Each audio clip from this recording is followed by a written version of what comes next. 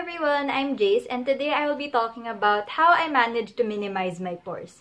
So having oily dehydrated skin, pores have always been a problem for me because they were always visible, especially around my cheek area. But I wanted to share you some tips that I could give on how to minimize the appearance of your pores and these tips are what really worked for me. So let's get started.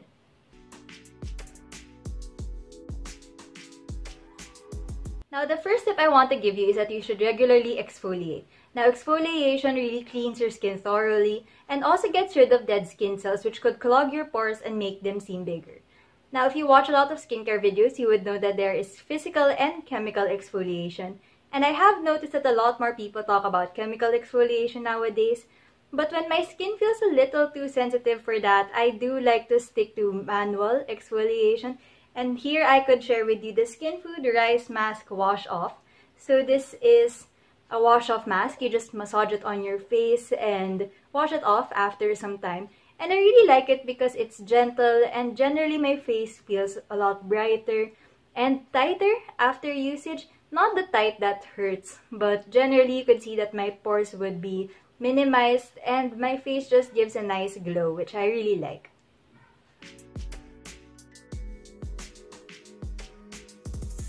Now, the next tip that I would give is to avoid products that say that they will minimize your pores by tightening them. Now, I say this because I've tried these before, and one of these products is the Bioessence Biolite Gel Toner. I actually mentioned this in a video already so that you could check it in the description box or I will link it above. This toner actually tightens my skin upon drying, and that does make my pores seem smaller, but I notice that it's hard for my moisturizer, and even sunblock to really sink in my skin, which is why I only use it in the morning so that I don't have to layer too much products after.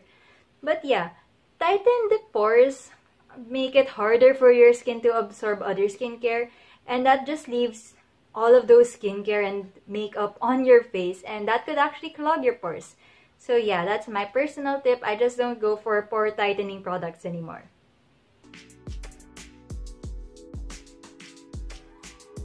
Now, the most important tip that I could share with you is to keep your skin hydrated. Now, as you may know, dehydrated skin could produce more oil, and more oil could make your pores seem larger and could also clog them. So I recommend that you use hydrating products and that you also keep your skin hydrated throughout the day. And by that I mean, I think you should limit the usage of your oil strips. Now I know oil strips are handy and great to have on hand, I actually do recommend using them, especially if your face feels shiny in the middle of the day. But I would recommend that you avoid using them when your skin isn't really that shiny.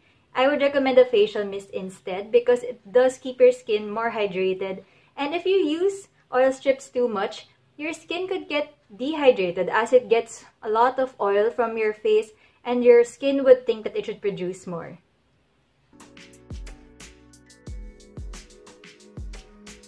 Now last but definitely not the least, you could blur your pores by using makeup. And when using makeup, I do recommend that you use a primer. So here I have the Banila Co Prime Primer in matte. It's the only primer that I use.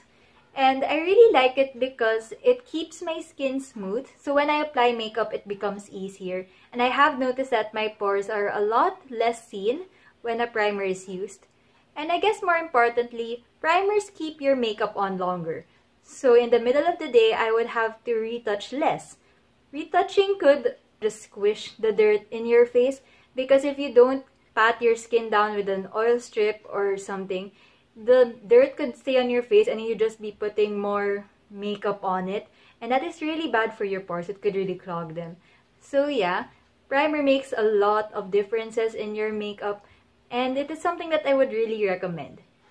So that's it. I have shared with you the 4 ways that I like to minimize my pores. Thank you so much for watching this video and I really hope you found it helpful. If you have any other ways that you could blur out your pores, I would like to see them down in the comments. And if you want to see me make more videos, click the subscribe button and hit that notification bell to be notified when I make a new one. I hope you all have a nice day and I hope to see in my next video. Bye!